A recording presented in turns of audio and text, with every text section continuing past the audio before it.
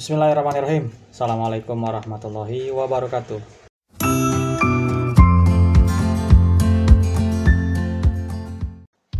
Gubanko, laris, manis, praktis. Selamat datang di channel gue lagi, Hidayatur. Dan kali ini mau nge-share gimana caranya uh, jualan di marketplace biar langsung punya pembeli walaupun tokonya masih baru. Ini beberapa tips yang emang udah gue lakuin sendiri dan gue apa yang namanya hmm, nggak ikut kelas-kelas juga. Gue nggak ikut kelas-kelas berbayar dan lain-lain lah. Tapi uh, gue otodidak dan cobain banyak step yang emang udah gue laluin gitu. Jadi dan ketika nemuin step ini dan works di gue dan gue punya dua toko yang akhirnya juga gue gue cobain dan itu berhasil juga makanya gue share. Udah tanpa berlama-lama langsung aja teman-teman buka ke Tokopedia dulu teman-teman. Ini gue sekarang caranya buat di Tokopedia dulu ya. Gimana caranya jualan langsung laris dengan buka toko yang baru di Tokopedia. Pertama teman-teman buka Tokopedia dulu. Habis itu teman-teman uh, login biasa nih akun login biasa. Ini kan tadinya kan akun pembeli doang ya teman-teman ya. Nanti teman-teman bisa mulai jualan. Ada tuh pilihannya buka toko buka toko nanti udah punya udah punya akun tokonya Nah, step pertamanya teman-teman harus bikin nama toko teman-teman itu secara general. Jadi kalau bisa nih, kalau bisa namanya tuh uh, jangan kayak satu tipe doang gitu. Kecuali emang teman-teman pengen jual itu doang barang-barang. Misalnya nih teman-teman jualan madu ya. Kalau emang teman-teman jual madu doang nggak apa-apa. Namun namanya tuh ada unsur-unsur madunya nama tokonya. Tapi konsisten jualannya berbau madu gitu.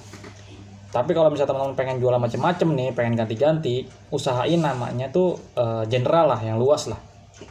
Kayak ini gue namanya toko kuka. Kuka itu artinya bunga. Nah, toko kuka ini isinya apa aja barang-barangnya? Ya banyak, gue macam-macam barangnya gitu, gue campur-campur. Tapi yang jelas gue satu nada, satu nada nih, yaitu kebutuhan rumah tangga misalnya gue isinya kayak gitu-gitu sih, teman-teman. Kebutuhan keluarga lah, bukan rumah tangga, kebutuhan keluarga. Nah, teman-teman misalnya nih jualan mau jualan jualan jilbab ya. Biar tokonya ntar nggak usah ganti-ganti lagi nggak usah ulang-ulang lagi. Teman-teman bikin aja nama nama tokonya misalnya fashion muslimah. Nah nanti tuh isinya ada macam-macam tuh. Ada daster ada hijab ada bergo ada segala macam lah. Kayak gitu gitu atau teman-teman misalnya jualan mainan anak misalnya.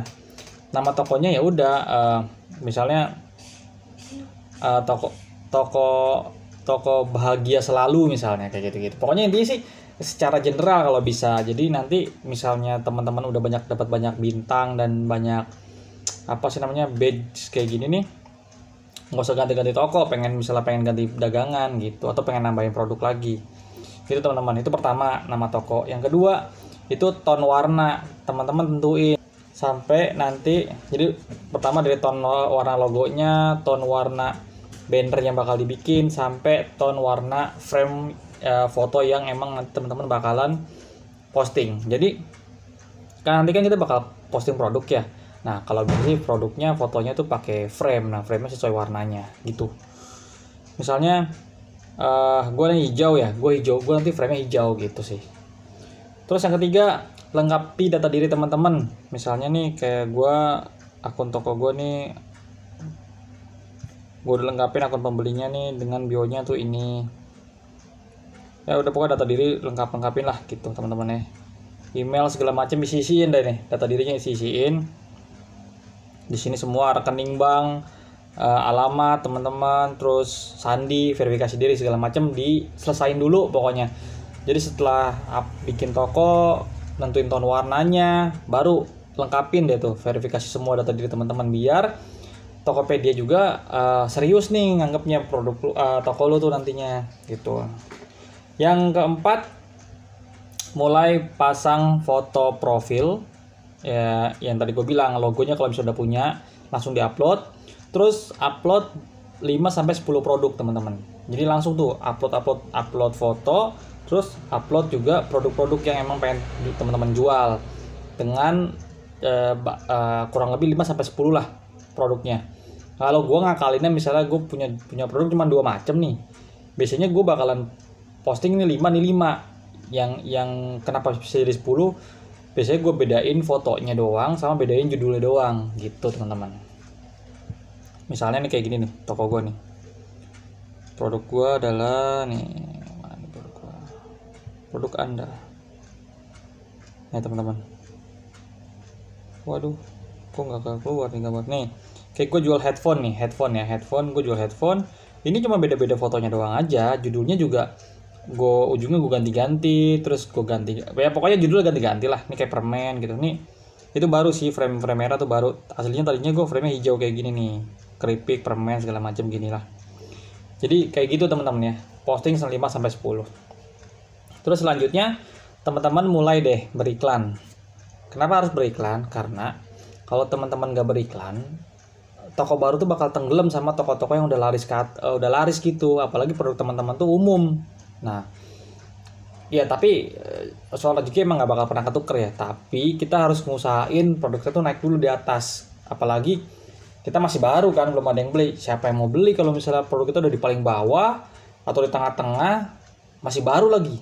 Orang ya nggak trust aja gitu nantinya. Jadi usahain teman-teman ngiklan. Kayak gue ngiklan nih, misalnya nih, gue ngiklan ini gue kan iklan uh, budgetnya 100 ribu ya sekali naro iklan. Cuman nggak habis langsung 100 ribu. Paling semingguan gue habis 100 ribu tuh. Sangat kecil banget gitu. Jadi kalau emang mau ya kalau emang mau uh, kecil-kecilan dulu juga teman-teman bisa beli saldonya tuh 50 ribu dulu. Cobain pakai kata kunci kata kunci yang emang teman-teman uh, serupain sama produk teman-teman. Misalnya kalau jualan madu ya kata kuncinya ya madu honey uh, original terus misalnya honey bee pokoknya yang berbau-bau madu masukin masukin masukin. Nah terus misalnya teman-teman uh, uh, produknya misalnya madu di misalnya umum gitu umum banget. Nah kan itu kan banyak banget tuh yang yang nyamain kan ya pasti ya. Nah, kalau misalnya ada harga rekomendasi, tolong teman-teman jangan di up ke atas. Misalnya gini. Jadi misalnya teman-teman uh, harga rekomendasinya misalnya 550 nih dari si Tokopedia-nya untuk kata kunci itu. Teman-teman usahain jangan 550. 400 kalau bisa malahan di bawahnya. Jadi nanti teman-teman uh, nyelip iklannya itu di tengah-tengah bukan di paling atas karena kalau paling atas teman-teman udah pasti kalah sama orang-orang yang udah harganya lebih murah sama harga eh, sama e, lapaknya udah banyak yang beli gitu. Jadi usahain tengah-tengah aja teman-teman. Terus harganya untuk awal-awal oh terus e, e, apa namanya tips kesekiannya adalah harganya teman-teman jangan gede-gede dulu untuk awal-awal. Karena ini kan organik ya teman-teman ya. Pelan-pelan. Jadi kalau bisa bedain cuman 3 sampai 5 ribu lah e, paling tinggi 5 ribu lah uh, untuk untuk untuk ambil untung. Itu juga untuk produk yang di atas 50 ribuan. Kalau untuk yang masih 20 ribuan itu ya untungnya 2000 perak gak apa-apa. Yang penting kalau udah ada pembelian 1, 2, 3 3 lah 3 pembelian baru teman-teman naikin normal terus iklannya naikin ke atas. Nantinya itu oke okay deh teman-teman. Jadi gitu teman-teman tipsnya. Oke? Okay? uh, insya Allah sih itu cara-cara yang emang udah gue lakuin dan itu udah uh, terjadi di dulu toko gue dan emang alhamdulillahnya gue ngiklan 6000 perak satu hari. Uh, laku dagangan gue satu hari tuh bisa 300 ribu 200 sampai 300 ribuan. Kayak gitu teman-teman. Lumayan ya.